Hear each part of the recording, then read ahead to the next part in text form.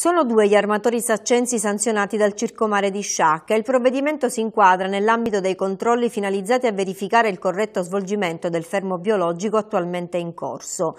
In pratica svolgevano attività di pesca durante il fermo, ma non avrebbero rispettato l'obbligo di avere a bordo un quantitativo prevalente di gambero.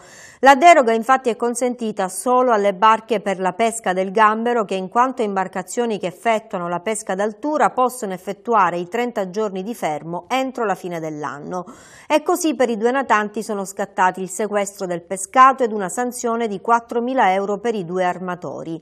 Ad eseguire i controlli sono stati gli uomini dell'ufficio circondariale marittimo di Sciacca, un periodo, quello di sospensione delle attività, in cui i natanti possono non effettuare il fermo di pesca, ma a bordo deve essere il gambero, il quantitativo prevalente rispetto alle altre specie ittiche, per non incorrere in sanzioni.